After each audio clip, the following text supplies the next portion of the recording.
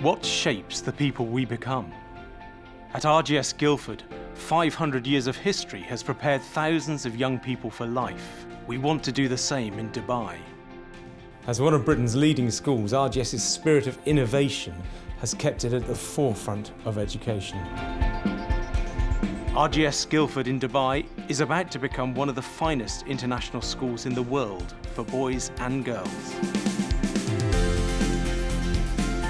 The curriculum in RGS Dubai will be based on that in RGS Guildford and will also have direct oversight from myself and from the governing body here in Britain. Bonjour à tous. Well, actually, that could be quite easy. To I try to push them to be curious and imaginative, Very good. to become the best people they can possibly be. It's really lovely to see them actually go out at the end of their school career. We've known them since they were very little and they've transformed into really interesting and creative individuals.